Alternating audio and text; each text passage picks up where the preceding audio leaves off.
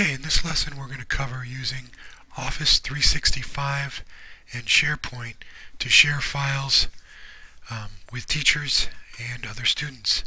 First we need to log into Office 365. So call up your Office 365 and go ahead and log in.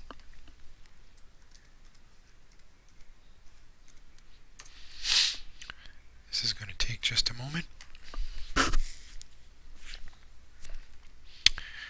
We log in, we're going to hit our OneDrive option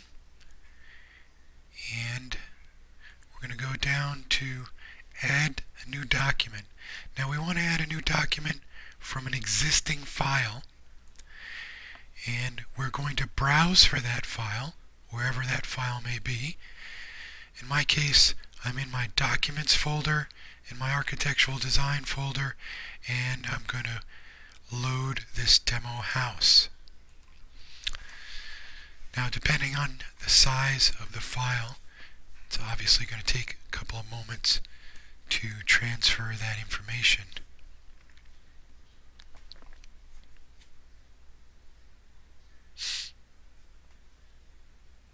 Apologize for the hoarse voice. Hopefully be uh, feeling better soon.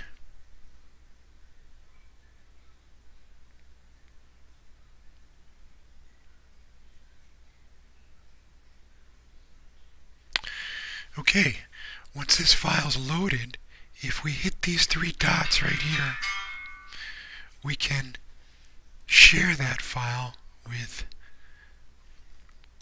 whoever we'd like. So we're going to hit the three dots, we're going to hit the share option, and then we're going to type in the address who we want to share it with. In this case, I'm going to type in Derry, and you're going to notice that my name is going to show up.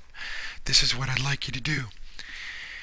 If you don't want anybody to edit this file, you want them to just look at it, we can hit the view option.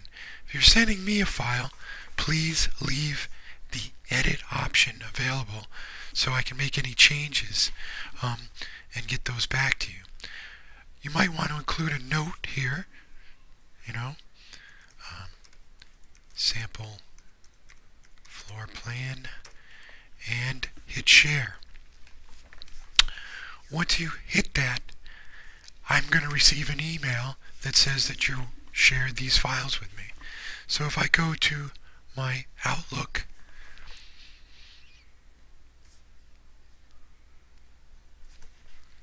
in just a second here, we should have a file.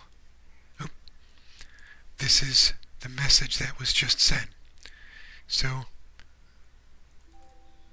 I have a shared file And when I open that, you can see that that floor plan is available for me to look at. That pretty much covers it.